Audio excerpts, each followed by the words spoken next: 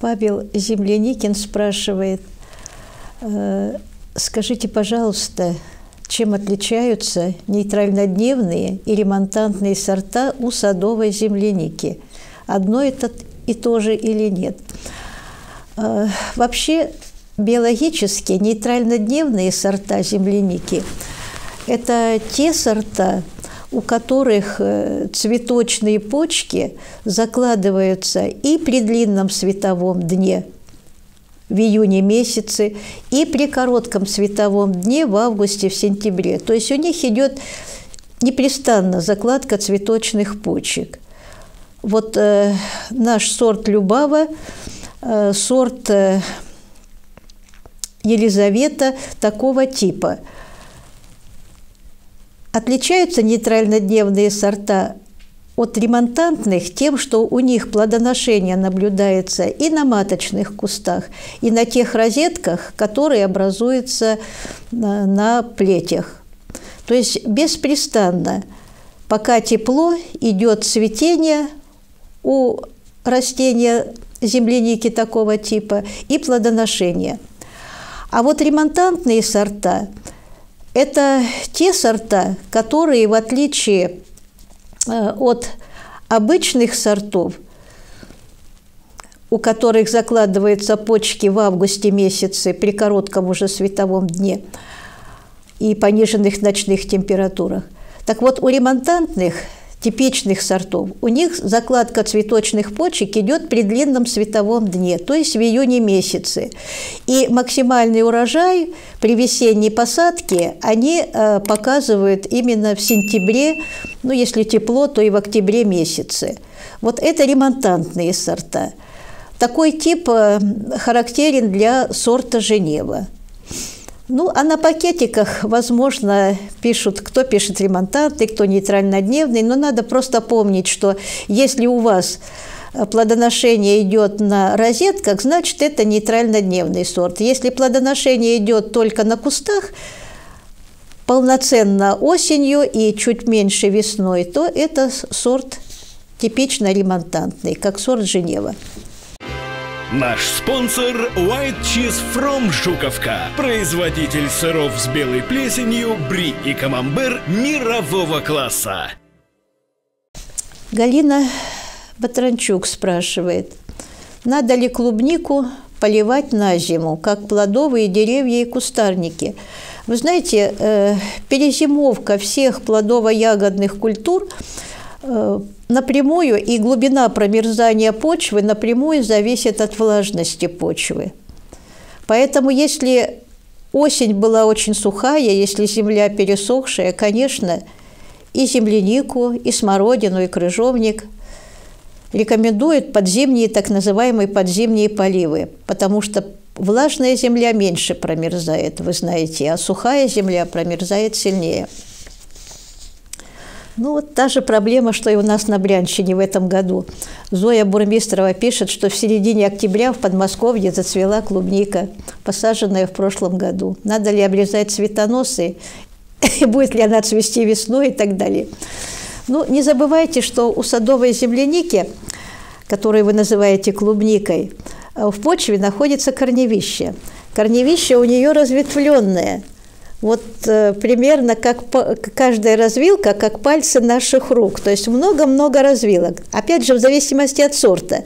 Если у вас сорт типа Кокинской ранее, у нее ну, одна-две развилки всего. То есть один-два рожка. Если оба зацвели осенью, значит, вы остались без урожая. То есть на каждом, на конце каждого рожка у вас цветочная почка. Но есть ведь сорта, которые имеют вот как сорт соловушка наш, сорт витязь, они имеют 10-12 рожков.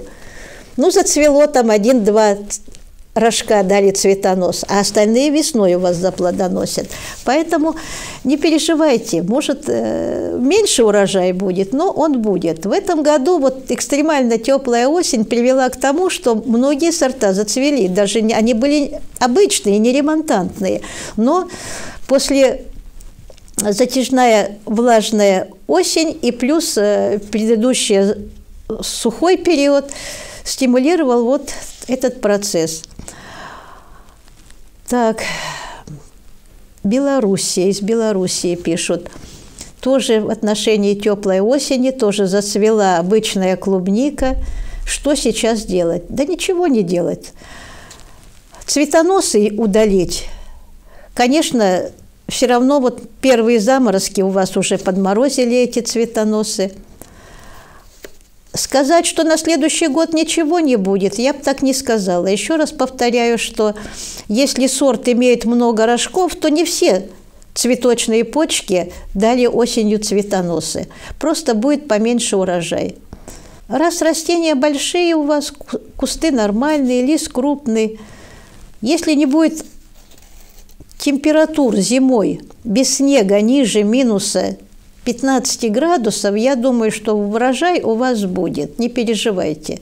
Все цветочные почки на вот этих разветвленных рожках корневища, они осенью не зацвели. Тем более, что э, почки у земляники закладываются на концах корневищ неравномерно. Часть в августе, часть в сентябре. Иногда даже закладка цветочных почек, мы говорим дифференциация, идет в марте, в апреле месяце.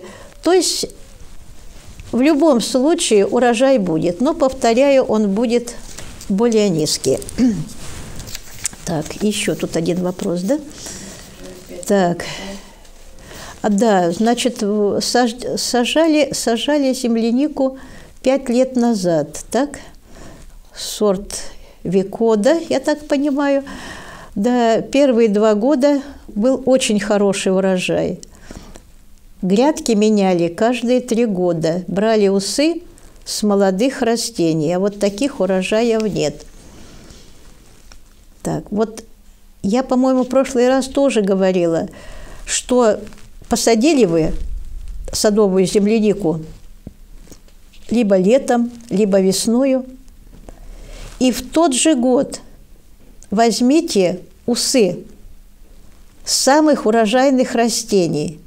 Вот те растения, которые вам понравились, самых урожайных растений, берите розетки и отсаживайте. Не через три года, не через три года у вас трехлетняя плантация, а вы там на трехлетней плантации нашли какое-то молодое растение и с него взяли розетку. Нет. Почва уже за три года истощена, растения ослабли. Поэтому всегда, всегда берите рассаду свою рассаду, э, те розетки, которые у вас сформировались в первый год плодоношения. И э, ведите так называемый клоновый отбор, то есть берите розетки самых урожайных кустов, там, где вам нравится ягода. Пусть это будет 3-4 розетки, но вы уже твердо знаете, что это э, сохрани, что сохранится ваш сорт. Ну и потом э, уменьшение урожая может связано быть и с истощением почвы, с истощением почвы, с недостаточным питанием. Но это не значит, что сорт выродился. Не значит, что сорт выродился. При вегетативном размножении сорт не вырождается. Главное, чтобы брать рассаду с самых сильных урожайных кустов. И в первый год плодоношения, а не на второй, не на третий год когда растения уже ослаблены и болезнями, и вредителями, и температурными стрессами.